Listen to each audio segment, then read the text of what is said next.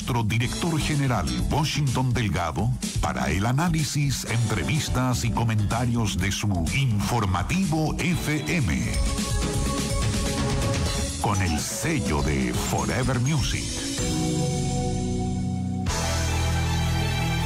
Muy buenos días, estamos en Radio Forever 92.5, hoy martes 2 de abril del año 2024 y siempre con la intención de exponerle a usted, amigo y amiga que nos escucha, reflexiones, pensamientos del acontecer de cada día en nuestro país, justamente para salir adelante, para mejorar, mejorar, inclusive de lo que voy a hablar el día de hoy, esa cultura para el desarrollo, la cultura que se fundamenta en la paz, una cultura de paz, una cultura del diálogo, una cultura de la honestidad, etcétera, etcétera todo lo que conlleva justamente a crear un entorno propicio para que los ciudadanos aquí en el Ecuador podamos desarrollarnos.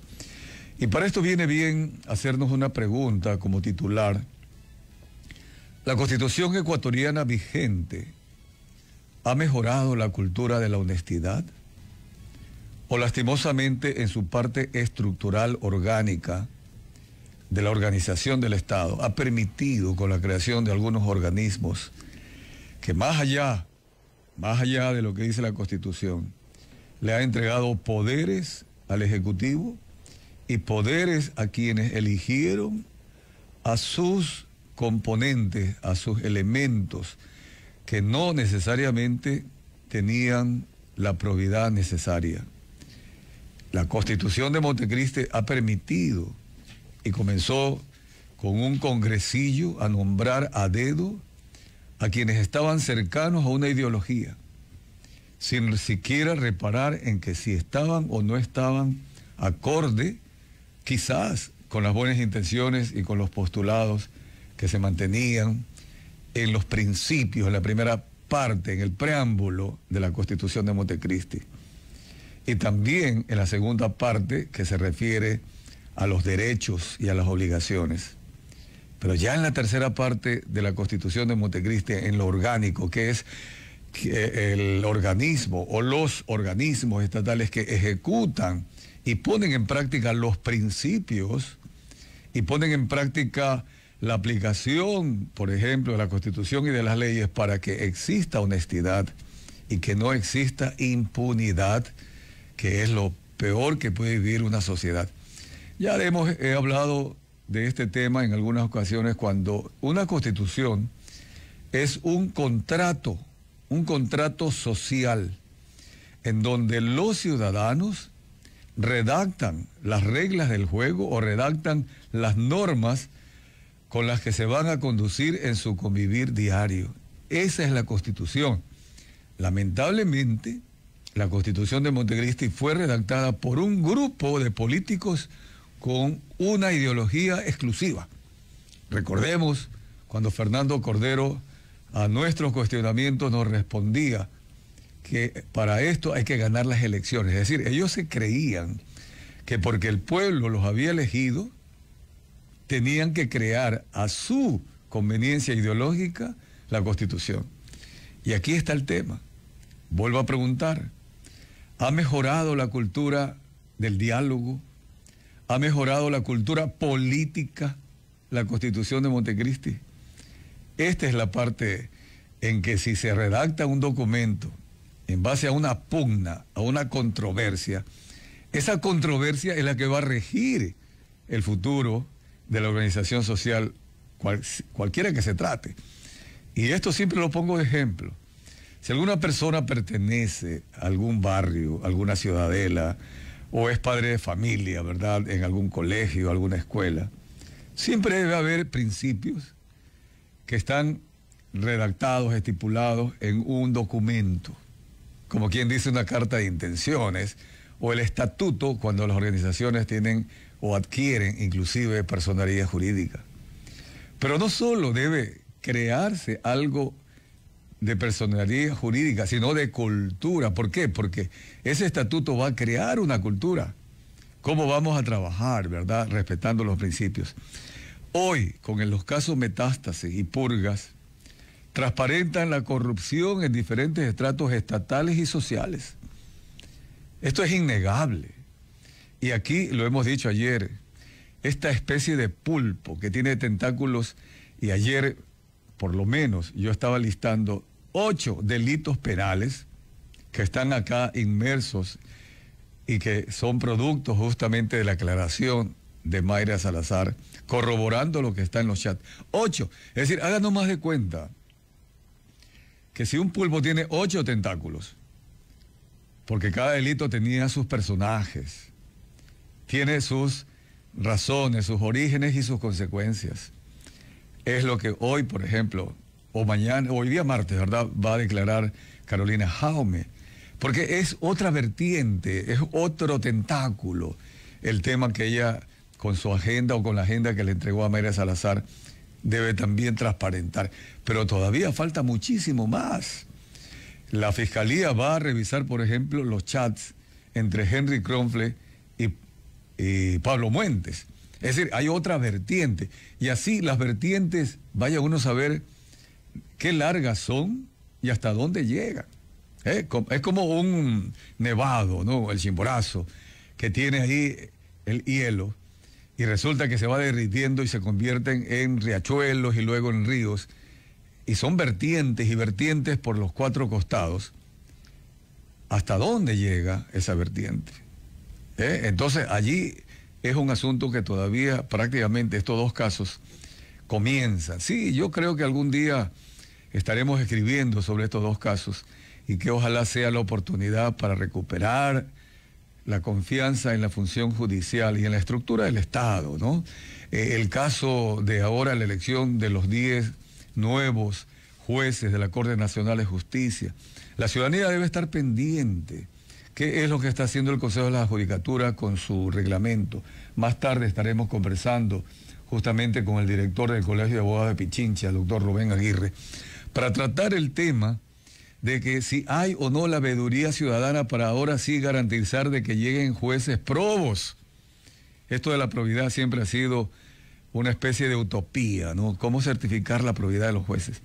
En todo caso, la Constitución no es solamente un orden jurídico para los juristas, para los constitucionalistas, que interpretan, ¿verdad? Inclusive de acuerdo a sus visiones culturales antiguas, modernas y hasta futuristas las reglas del juego, las reglas del contrato social. La constitución debe tener una eficacia esencial como guía para los que no somos juristas, una guía de comportamiento, de convivencia de los ciudadanos. La constitución no es solo letras sobre un papel. La constitución es lo que permite en la parte orgánica, eh, de alguna manera, aplicar los principios, los valores y los derechos y las obligaciones. Eh, muchas personas felicitan y dicen qué bien la constitución de Montecristi en materia de derechos garantistas es de avanzada. Algunos hablaban de que era una constitución que debería tener vigencia por 300 años en el futuro. Pero ¿quién aplica la constitución? Ahí está el tema. Ahí está el tema. ¿Cómo organizar al Estado? La sociedad tiene que imponer la razón, la justicia, para que a mediano y largo plazo realmente esto sea una realidad. Siempre decimos, y nosotros mismos en el periodismo, le solicitamos eh, eh, a los oyentes, ¿no? electores, que mediten el voto, que sepan a quién elegir. Pero por otra parte también hay la queja de que los partidos y movimientos políticos ni siquiera preparan a sus candidatos para que tenga valores, ni siquiera le hacen el filtro. Y el ciudadano está obligado a votar por los que les exponen en las listas, sobre todo cuando son de, multipersonas o eh, multicargos, ¿no? Concejales, consejeros, o cuando llegan a la asamblea.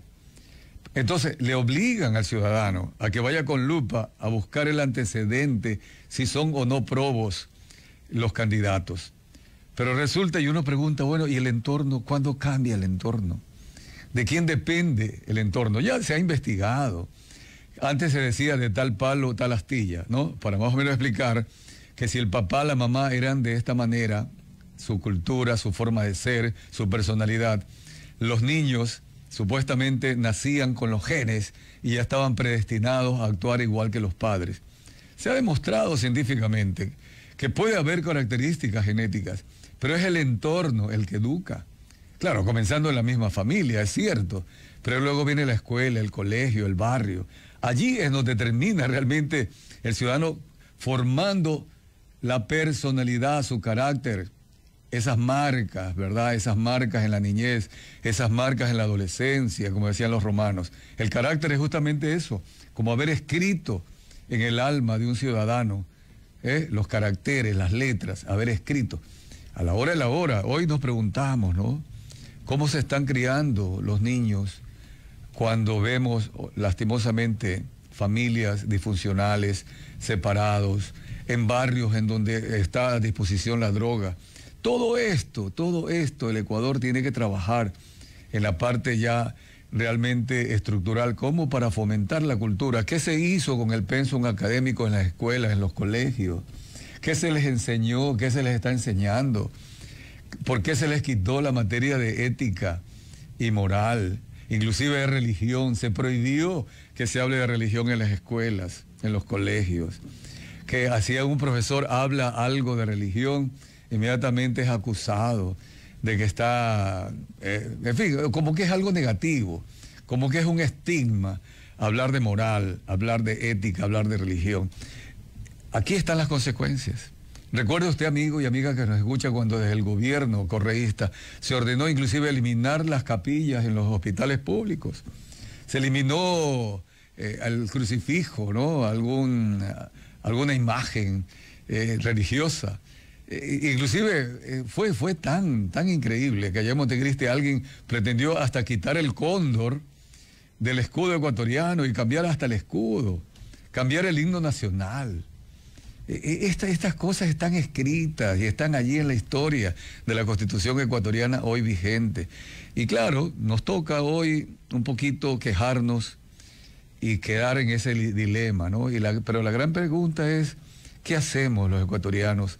para hacer la ley adelante si tenemos una cultura formada de acuerdo a lo jurídico, a lo constitucional que actualmente estamos eh, viviendo. Ayer en la mesa de análisis con la doctora penalista Lorena Grillo y el licenciado periodista de investigación Juan Carlos Calderón, pudimos determinar el grado, la dimensión de la corrupción de los estratos superiores de la justicia ecuatoriana. Volvimos a tratar el tema de la necesidad de educación ética en la Facultad de Jurisprudencia. Aspiramos a que los nuevos jueces de la Corte Nacional de Justicia realmente, sean realmente probos, que los verdaderos ciudadanos honestos, abogados, se postulen para ser jueces. Este viernes se abre el periodo de postulación. Que, vayan adelante, que den un, un paso adelante, que no le entreguen el Estado, que no le entreguen la, función judicial a los corruptos. Tenemos que dar el paso adelante, cada uno en su profesión, en su, en su puesto de trabajo. Aquí hay que comenzar nuevamente con una Corte Nacional de Justicia de altura, el Consejo de la Judicatura cuando se reemplace a los actuales volcales, el Consejo de Participación Ciudadana y Control Social, los partidos políticos, los movimientos políticos, los fiscales, los jueces, los miembros de las fuerzas del orden, que actualmente algunos de sus miembros están contaminados. Es hora entonces de que se trabaje de manera integral, invitando primero a los ciudadanos que anhelan erradicar la corrupción de nuestro país y tener, por lo menos en la consulta popular, que corregir parte, ¿verdad?, de las leyes en el COIP y parte también con las enmiendas de la Constitución y una reforma constitucional.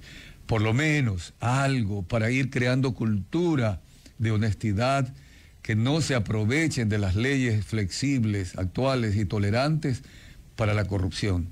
Vamos a la pausa comercial.